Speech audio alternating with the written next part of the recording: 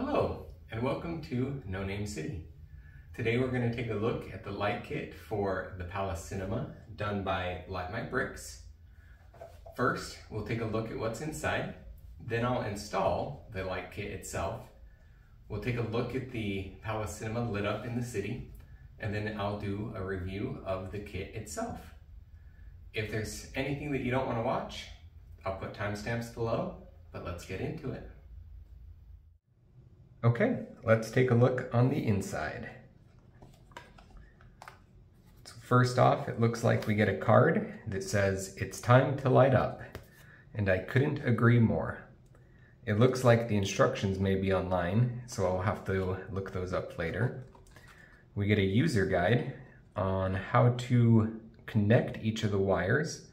This is a smart so that we don't accidentally break any of the connections.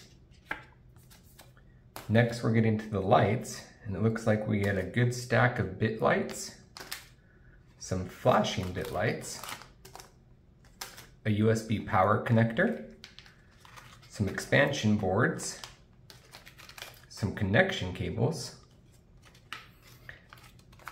there's a wireless power connector. This is one thing I really like because then it makes it so that you can lift up each of the floors and still have it powered so you can still technically play with your Lego.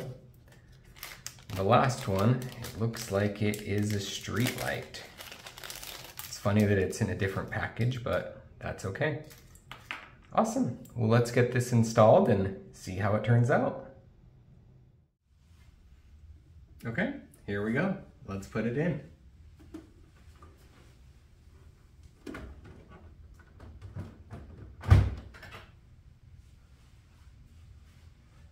That's awesome.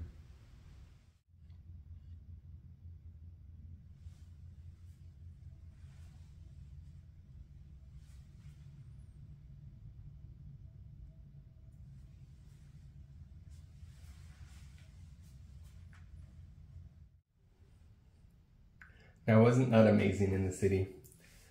It sure brought to light how much I need to light up the other buildings, but in due time. Now, taking a look at this kit itself, I really like it.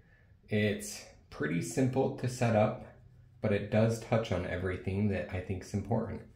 You can see that the lights on the sign are all lit up and flashing. The outside lights are lit up. The posters have lights lighting them up. And then on the registers, there's even more lights. Not to mention even the lights on the inside.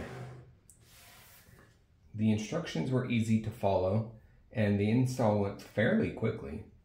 There are a couple small things that I would change, such as the lights on the outside weren't that great, so I replaced these pieces.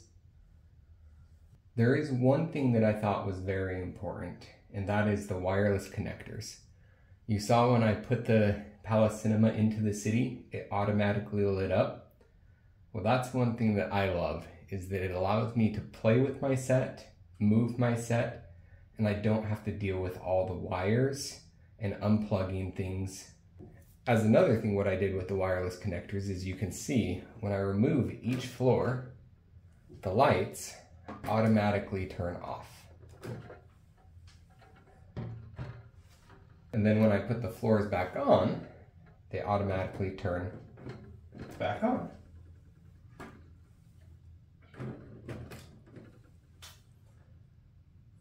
The lights on the outside aren't turning off because I'm not unplugging the wires there. But if we take a look at the bottom, we can see where my wireless connector is right here. It's kind of hard to see, but let's take a look at the city so that you can see the opposite side. So here we are without the buildings. And now taking a look, we can see here is the bottom of the wireless connector. This little piece goes into the bottom of each building, and that's what powers each of the buildings. Eventually, there will be one of these for each building in the city. To power each of these connectors, I have to have the USB and all the wires run through.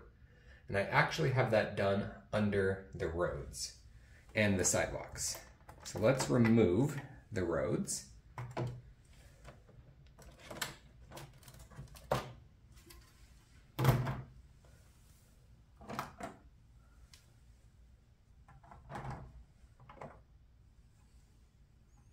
and you can see here's all the wiring. As I get more buildings, I will have to separate the wires out more so that it's separated into more USB ports. But right now, I don't have that many LEDs, so I can run it all off of one. But you can see that the USB hub comes in from the wall. Then there's wires that disperse throughout the whole city to light up each and every light.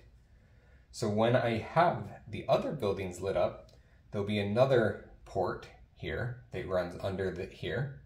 There'll be some more that come over here. And so I really like this style of lighting because it allows me to clean, play, mess with all my bricks, but not be hindered and have to unplug everything manually. Let's remove this floor. And then one thing that I thought they did well was lighting up the whole sign itself. There are quite a bit of wires that you can see in the sign and the pieces aren't quite snug, but overall they did a good job hiding each of the lights. The one thing that is a bit hard is all of this mess of wires because each and every single light has its own connection to go to the board. And you can see that there's three different boards in here that wires are going to. Now the system with the boards and the wires, I really like it because it makes it very modular, that you can move things around, you can connect it how you want. Eventually what I plan on doing is filling out this and just have all of these wires enclosed in a little tube. So then that way it looks much cleaner so you can see the wireless connector here, and then on the next floor, you can see the opposite end is right here. And so then these two connect, and that's what powers this LED to get the inside. And the same thing is happening right here. You have that side, and then the wireless connector goes there. And so putting it on, it just goes snug like that. So kind of the difference between having the light kit itself and what I've done is that the light kit itself is designed to not require any additional pieces. And so for example, I have a couple, couple empty spots because I installed this rather than it being part of the light kit. And so if I need to finish this off, I would get some tan bricks and clean that up. Kind of the same thing happened with these outside lights, is these are not the originals, I replaced those.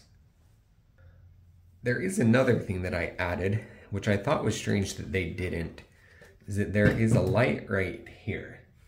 That is not normally there, but I decided to add it because it just makes the entrance so much better than having it be a dark situation. One thing I did change from the original design is right here. Here, these outside lights normally went through this piece, but to me, it just made more sense to have it go around. And so I did that actually with all four. And so you can see that there's a little gap right here, but I thought that was better than having it be super snug. There is one thing that I could do in the future, and that's light up these lights. It depends on how ambitious I am, but as a whole, I thought the set was pretty awesome. So let's put the floors back on. And here it is. Well, that's everything for today. Next episode will be on a BriksMax lighting kit. Until next time, this is No Name City. Have a good one.